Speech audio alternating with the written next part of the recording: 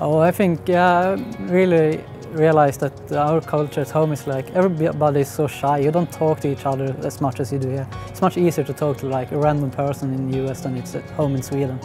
You're like if you're sitting on a bus, you don't talk to each other. You're just sitting there in Sweden. In Northern Ireland, a lot of people would try to be the same, like everyone. A lot of people kind of have the same interests, the same style, everyone follows the same trends and fashion.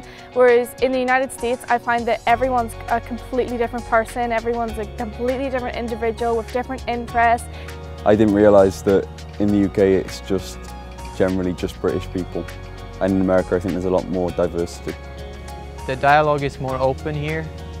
People are more sincere in the way they talk to you. That's a big difference from back home. Mainly the weather, like it's so much sunnier and warmer here, like it's stereotypical, it rains in England all the time.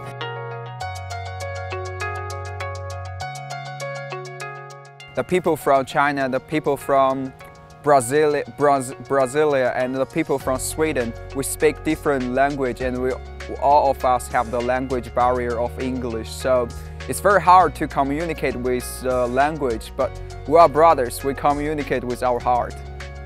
The most significant challenge so far is being away from home in such a long time and uh, not having a car. That's really difficult because for, for commute you need a car to go to anywhere around here or you need a friend who has a car.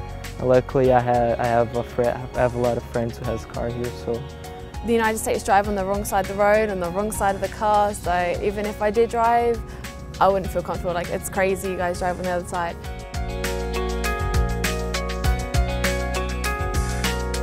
It is so different between the movie and the real life. Like, you have to experience the real life, not learning from drama or not learning from movie. That everything here is it's a lot uh, the quantity and the food. If you order like a small, a small, I don't know, small hamburger, that's a big hamburger for me. It's not a small. Um, media portrays a stereotype of people here in US, which of course is incorrect. I thought about Americans as being more patriotic, kind of loud and, you know, fills up the room. But people here are not that much different from back home more. They're more open and genuinely nice. We tend to be kind of close and keep a distance.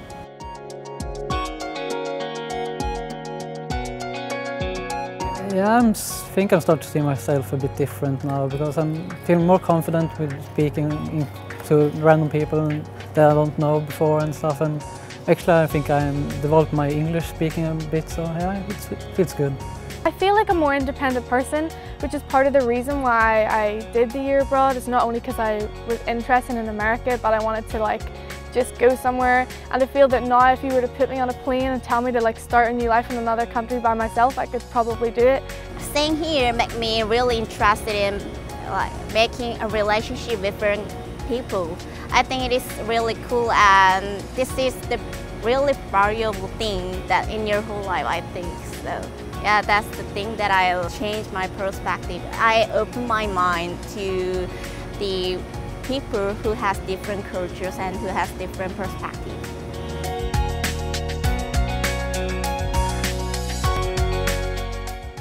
If you guys are thinking about go abroad to UNCP, I just want to give you one sentence. Just do it. You won't regret about it. Take the chance. Absolutely. Uh, study abroad is something that you'll do and experience and benefit from for your rest of your life. Um, this is a very good place to come to. Good people, good facilities, good education. Do it.